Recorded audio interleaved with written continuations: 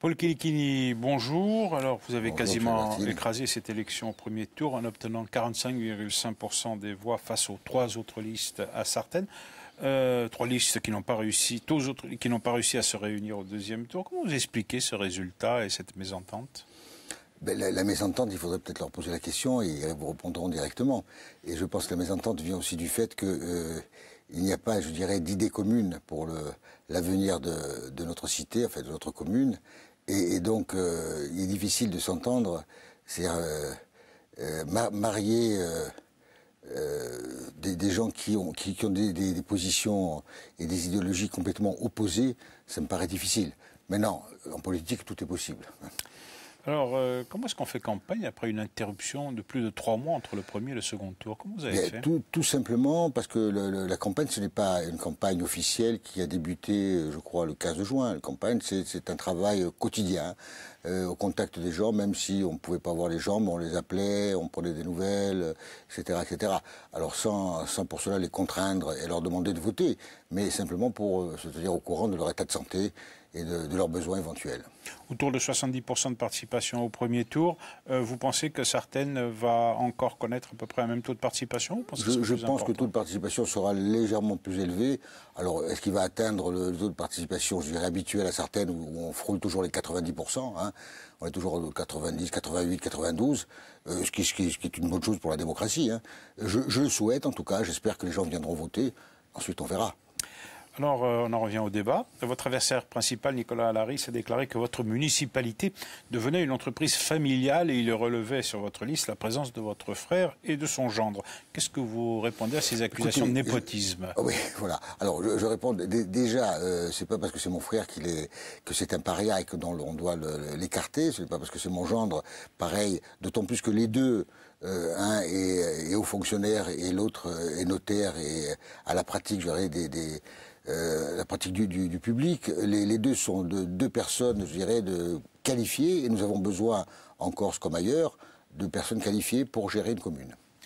Alors revenons sur les dossiers, notamment sur celui du PLU. Alors vous dites qu'il est prêt depuis trois ans, mais que l'État demande des modifications, en particulier sur les dents creuses. Mais pourquoi, s'il est prêt, ne pas l'avoir rendu public euh?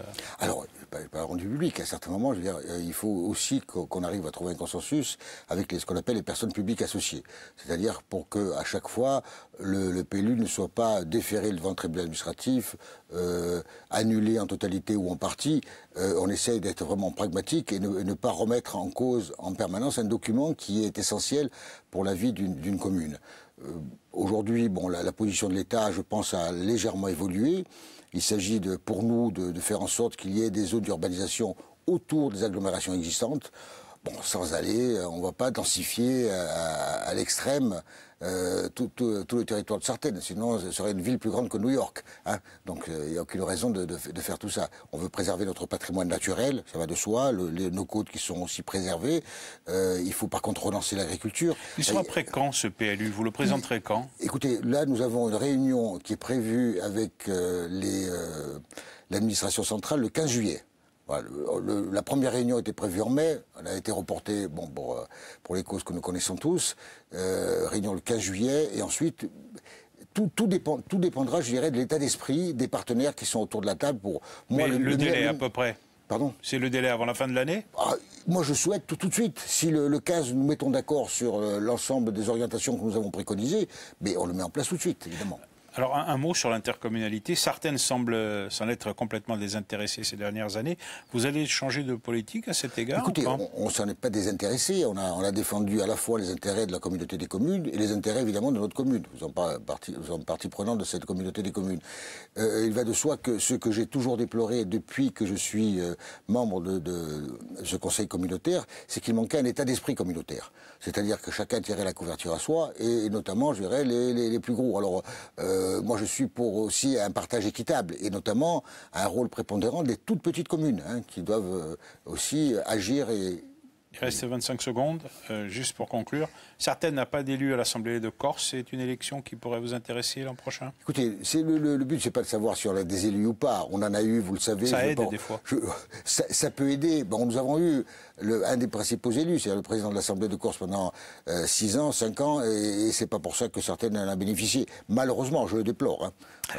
Paul Kilikini, je vous remercie. C'est moi qui vous remercie.